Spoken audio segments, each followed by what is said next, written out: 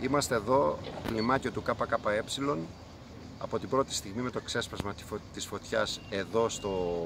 δάσος της, ε, στο, του Σέιξου,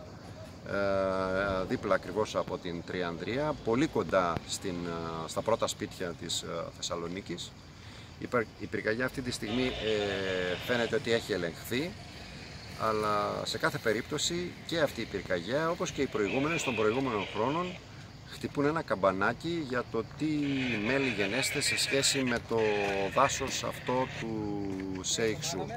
Επίγει κατά την άποψη του ΚΚΕ ένα ολοκληρωμένο σχέδιο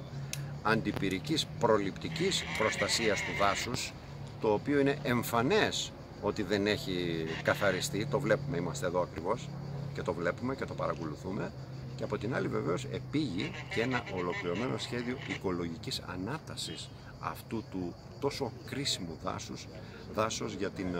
πόλη της Θεσσαλονίκης και για την περιοχή με την αναγκαία βεβαίως και την